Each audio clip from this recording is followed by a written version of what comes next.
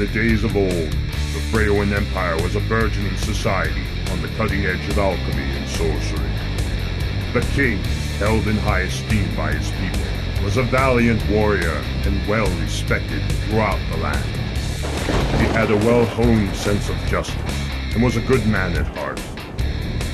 The king supported the development of all magic systems, with the exception of necromancy.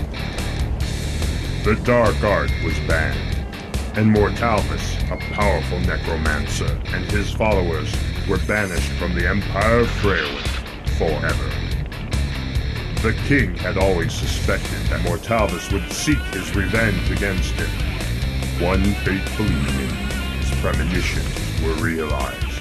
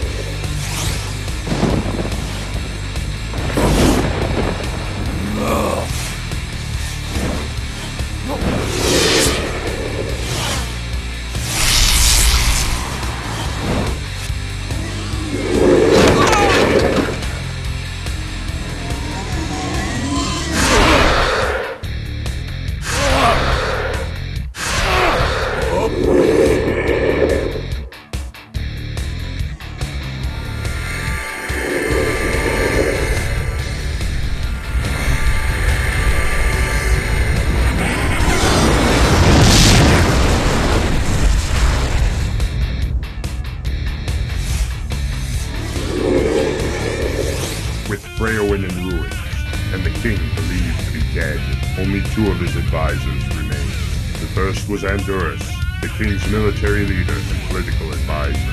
Second was Caliban, noble alchemist who took on all matters of sorcery.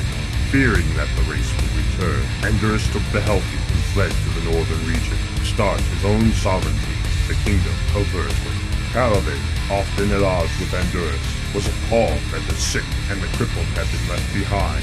He took the injured and his loyal sorcerers and moved to the western jungles to begin constructing the Chrysalis Collective. During his exile, Mortalvis took refuge in the southern scorched earth region of Freyoin. It was there that he built the realm of the Pariah, deep inside a massive volcano. After his race demolished Freyoin, he returned to the ruins to collect the corpses of the deceased for resurrection to serve in his army of the dead. As time passed, the hatred between the three groups increased. Small border conflicts between the factions turned into large skirmishes, and the skirmishes turned into massive battles. The battles for ground control raged and soon escalated into the skies.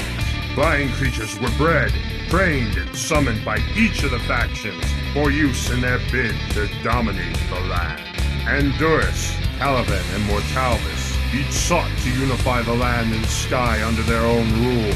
Preparations were made, defenses constructed, and aerial warriors were trained to fly their kingdom's war. The conflicts would soon be legendary. The time has come for war. The time has come for courage. The time has come for bloodshed. The time of savage skies. Virtwyn. Greetings, warrior. Your first mission is one of unusual importance. King Andurus has declared that we shall set aside our differences with the Chrysalis in order to protect our people from the greater threat of the Pariah. Our diplomats are now returning from a peace conference. Soon we shall be allied with the Chrysalis, something the Pariah are wise to fear. It is vital that these diplomats return safely. Of course, the Pariah will try to stop us. The diplomatic caravan is armed, but cannot protect itself against threats from the air or from great numbers on the ground. If and when the Pariah attack, you must protect the caravan at all costs.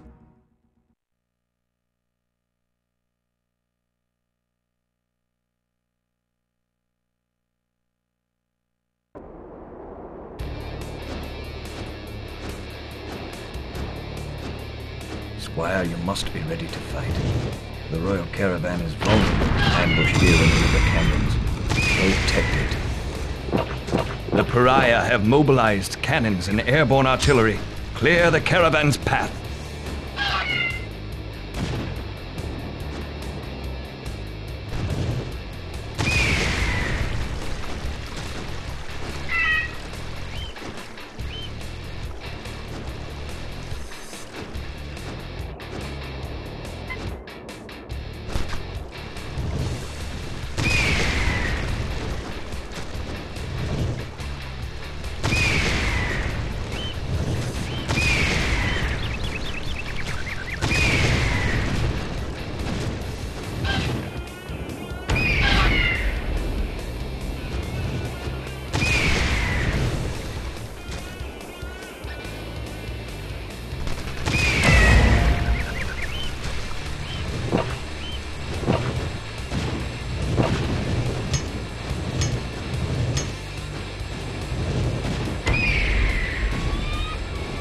Pariah have unleashed Gormags.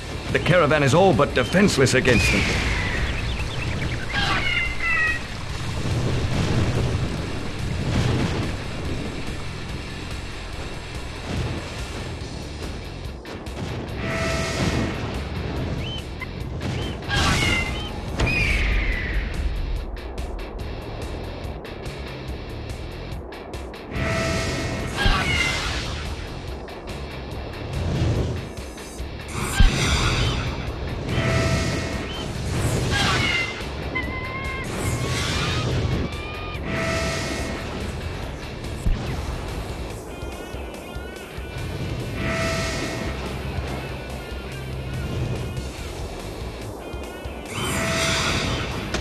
You've done well.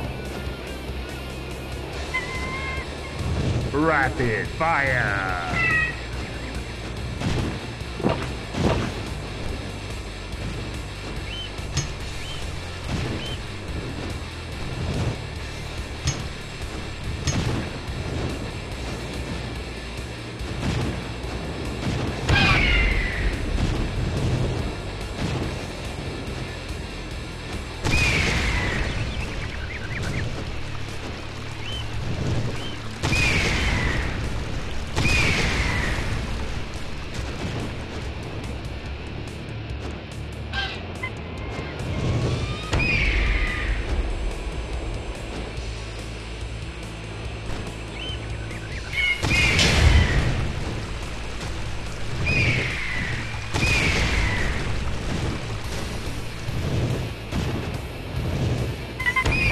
Are not yet done.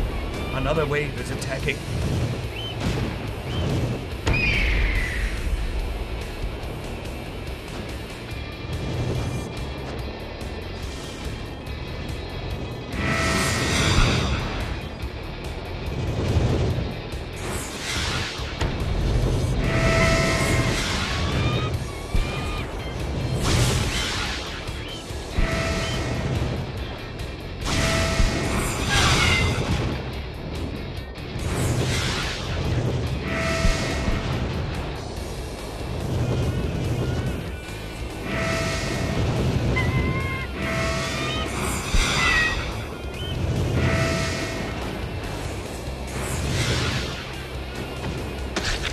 Wonderful!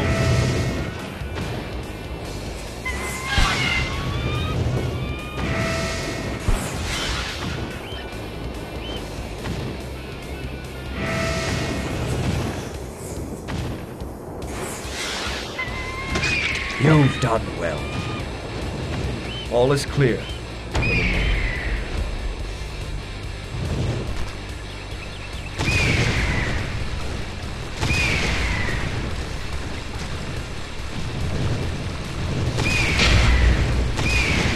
The caravan draws near to our lands. There is hope.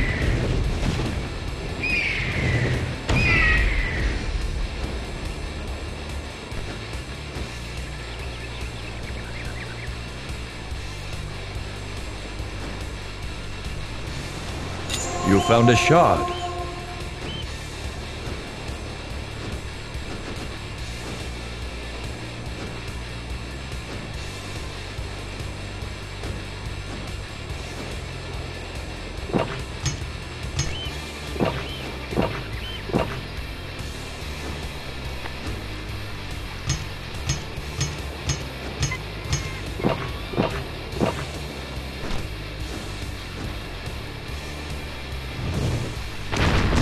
Every threat to our diplomats has been annihilated, and the path home is clear.